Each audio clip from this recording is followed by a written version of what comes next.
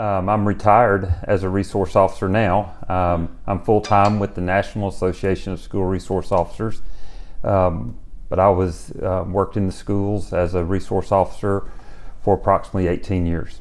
Um, where did you work? Hoover City Schools. Well, first of all, you um, normal days you you you when you arrive at the school, you usually arrive um, somewhat a little bit before the kids get there.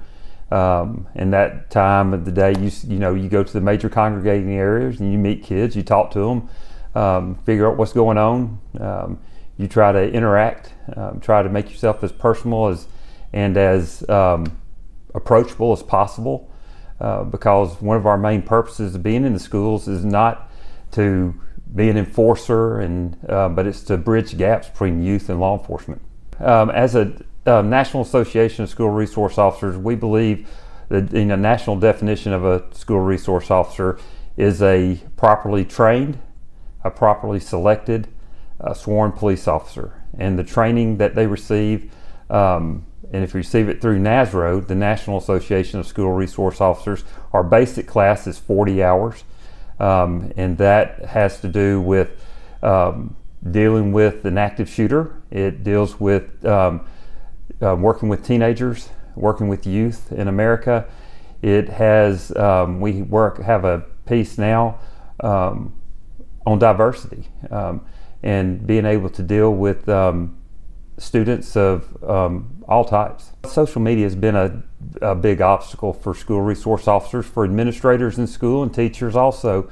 Um, I don't think that we've totally caught up with social media. I don't know if you can because it changes. It's always changing.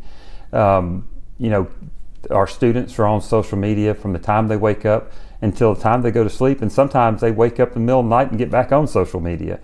Um, you know, we grew up in a time, the older generation, where we sat around the kitchen table and discussed family problems. Now our youth are talking about their problems on social media with other um, students and people their age. Um, so social media and dealing with it is a constant, you know, struggle. Uh, we know that we've been hearing stories about threats in schools that have been the same threat has been made um, at a school in Alabama to a school in South Carolina. It's the same media, a social media um, threat, but it's just being passed around from you know student to student from state to state. You know, you have to look into that, and you you you you know you try to find out where the source originated at, and you try to assure parents that um, you're doing everything possible in the school that you work at um, that it's safe for your children for their children to come to school.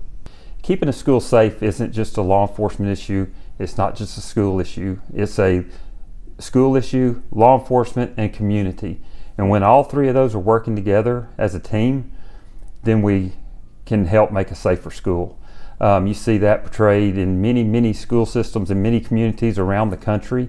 And when you get something like that, you need to communicate with your administrators and your law enforcement communicates not only with the SROs, they work with their investigators if they have investigators trained in um, working on phones and figuring out where these things come from, breaking it down.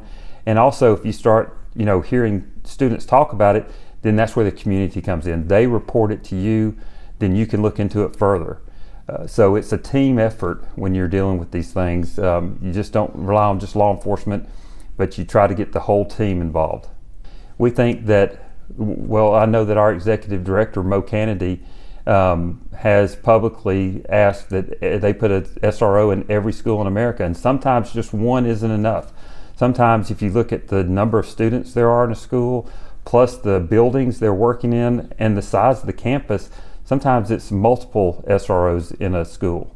Um, and like I said, an SRO isn't coming into school just to, you know, take kids to jail. An SRO is coming into school when they're properly trained to bridge the gap between youth and law enforcement. They're a mentor, they're an educator, and they're also law enforcement. Um, the NASRO stance on that, uh, we've been um, made it public that we are not in favor of arming teachers. Um, we're in favor of keeping kids safe and what it, by whatever means that takes. Um, we think that it's important to keep schools and to keep our school communities safe. We believe that keeping a safe school learning environment um, is a team effort. Um, but teachers are there to teach, to educate children. And I know they love their children. They're going to do what it takes to protect them. But as we work as a team and we build safety plans to keep that safe, and law enforcement is trained and those officers are properly selected in those schools, then we think that they're capable of responding to those situations quickly and effectively. We, we do a lot of training in Alabama, but not all schools are associated with NASRO. Um, we do a lot of training in just about every state in the United States. Um, and sometimes in different countries. We have gone to several different countries to um, present this training. Uh, but in Alabama, they do a great job of training their officers in the schools. Um, Alabama has a very strong state association of school resource officers, and we work very closely with state associations in providing training for those officers um, in many different ways. From police department, sheriff's department, they all have their criteria or their um, means of selecting an officer. We like to believe they're selecting a um, well-seasoned officer that's been on the job and they know that person. That person deals well with kids. They're approachable, and that they are willing to accept the training that's provided to them. And they're going to be the person that, when this happens, you know beyond a shadow of a doubt is going to, you know, you know, react and go into that school and protect those kids.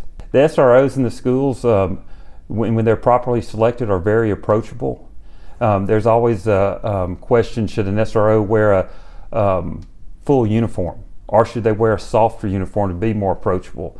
Um, and that's up to each jurisdiction to, to decide. There's not a set um, criteria on what you wear as an SRO, but they need to make sure that that person that's in there, the person that's inside that uniform, is not the uniform that sets the boundaries it's the person inside of it. And if that person is properly selected and it's a person that by personality is approachable, that they show their love for those students every day. And when you put on that uniform as an SRO in the morning, and you know, when you're buttoning up your shirt or you're zipping up your shirt and you're putting on your um, duty belt and you step into your car, you understand the responsibilities you take. These parents are bringing those school, those students to the school to learn, and they expect them to be safe. And that's a great responsibility that these officers undertake. And I praise them for it every day because they understand every day when they step out of that car at that school that it's a day that they may have to put themselves in the line of danger. And it's something that, as a police officer, we understand that. And I hope that we're selecting the ones that are willing to step in and get the job done.